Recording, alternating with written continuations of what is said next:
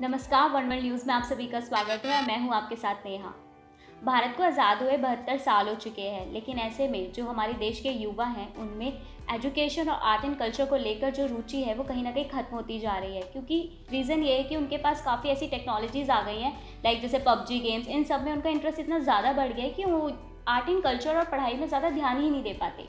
लेकिन ये जो ऑर्गेनाइजेशन है ये पूरी तरह से जो है इसमें बच्चों को आर्ट एंड कल्चर को प्रमोट करने में मदद करता है। जिसकी चीफ फंक्शनरी ऑफिसर हैं दीपिका मॉन्डल जो कि एक दिव्य ज्योति कल्चर ऑर्गेनाइजेशन को चलाती हैं। तो आइए चलते हैं जानते हैं उनसे कि वो किस तरह से जो है बच्चों को इसमें प्रमोट करती हैं आर्ट एंड कल्चर को।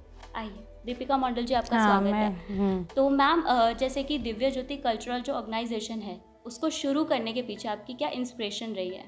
एक्चुअली हम जब गाँव में हम शादी हो के पहले आए ना तो वहाँ पे गाँव के जो बच्चे देखा था इधर उधर भटके हुए देखा था। मतलब कई पढ़ाई ठीक से करते नहीं थे फिर भी कई तालाब में चले जाते हम्म, थे हम्म, हम्म। कभी वो पेड़ में चढ़ जाते थे। तो पढ़ाई के जो स्कूल है ना खाली स्कूल में तो खाली होता था। कोई बच्चे जाते ही नहीं थे।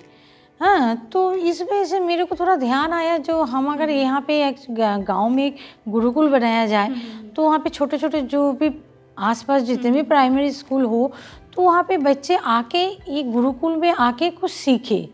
तो इसलिए मेरा ध्यान है जो गुरुकुल एक सेंटर पॉइंट हो जहाँ पे प्राइमरी सेक्शन की जो बच्चे हैं वहाँ पे आके हमारा आर्ट की पढ़ाई की मैम ये जो गुरुकुल है वो बच्चों को किस तरह से मदद करेगा लाइक पढ़ाई और क्या क्या एक्टिविटीज़ होंगी इसमें गुरुकुल? वहाँ पे डांस होगा म्यूज़िक एंड डांस भी है फिर आर्ट एंड आर्ट की मतलब ड्राइंग भी होगा कंप्यूटर क्लास होगी सब कुछ है वहाँ पे।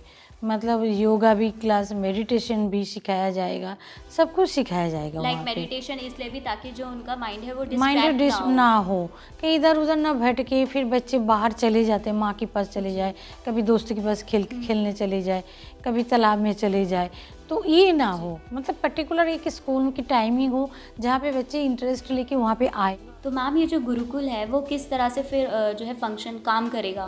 किस तरह से? एक्चुअली हमारे गुरुकुल के जो वॉल्टियर्स हैं ना वो प्राइमरी सेक्शन में जाके मतलब प्राइमरी स्कूल में जाके सॉरी प्राइमरी स्कूल में जाके वॉल्टियर सारे वॉल्टियर वहाँ पे उनको करिकुलम जो भी होगा वहाँ पे सिखाएगा ये हमारा गुरुकुल का ही सारे वॉल्टियर्स होंगे।